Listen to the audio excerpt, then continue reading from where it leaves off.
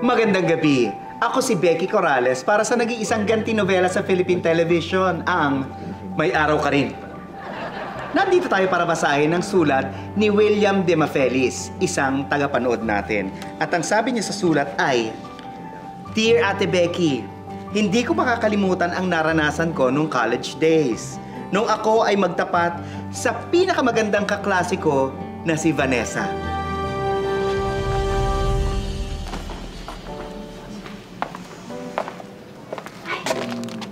Chocolates for you, Vanessa. William talaga. Thank you. Naku, alam mo talaga favorite ko, ah. Salamat.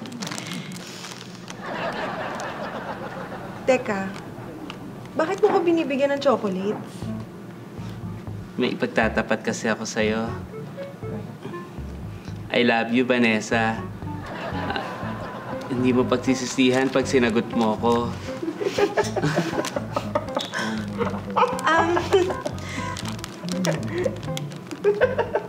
alam mo, ang kapal-kapal ng mukha mo, no? Tingnan mo nga yung mukha mo. Ang Pangit-pangit mo. Tapos niligawan mo ko. Hoy! Manalamin ka nga muna! Ah! Kadiri! Ano ba yan?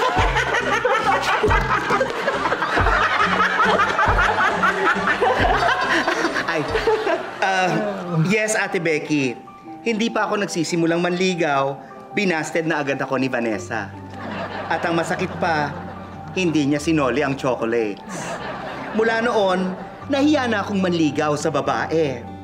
Kaya naman, wala akong ibang gustong mangyari kundi ang makaganti kay Vanessa. At sa request ni William, ay hinanap namin ang bahay ni Vanessa.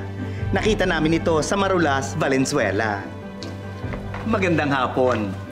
Kayo po ba si Vanessa Vergara? Ako nga. Becky Corrales! Pinapanood kita sa TV! Ay, maraming salamat, maraming salamat. Nandito tayo ngayon para sa programa naming May Araw Ka Rin. At may dala kami para sa'yo. Meron kaming flowers at chocolates. Ay, Ayan, para sa'yo yan. bakit yun naman ako bibigyan ng flowers tsaka chocolate? Ay, alam mo, Vanessa, hindi sa akin galing yan. Kanino? Naaalala mo ba si William, yung binasted mo noong college? William. Will... Ah! Si William de Mafeliz. Tama! Oh. Tama! Siyang nagpadala niyan. At nandito siya ngayon. William? William? Ikaw ba talaga yan? Siyempre, ginasusan ko yung pagpapogi ko. Hindi ko makakalimutan yung ginawa mo sa akin. Oh my God, ang pogi mo! Ha? Bakit ang pogi mo? Oh my God! Ah, natatandaan mo pa ba ako? Vanessa! Binasted mo ako, di ba? Ikaw, ah, hindi mo ako makalimutan. Alam mo, wala akong asawa. Single mama ko. Pero dalaga na yung anak ko, so pwede na. Vanessa, Vanessa, alam naming lahat yan. At yan nga ang dahilan kung bakit kami nandito. Sinetap namin ito para kay William at sa anak mong dalaga na si Ashley. ha? Teka, Ashley? ano nangyayari? Ah, anong kaguluhan to? William! Ang ginagawa mo dito? Ashley, Ha?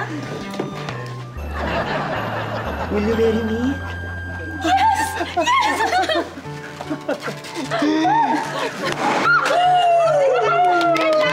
Sandali!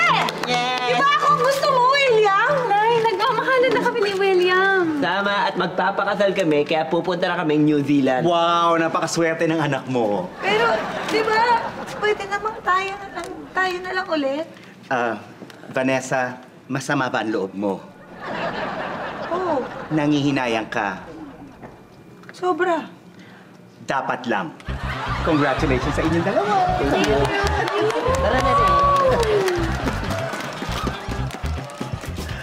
At yan po ang isa na namang edisyon ng May Araw Ka Rin. Masama ba ang loob nyo? Hindi kayo makamove on? May kinagagalitan ba kayo? Sumulat lang kayo sa amin at tutulungan namin kayong sabihin sa mga kaaway nyo na lintik ka! May araw ka rin.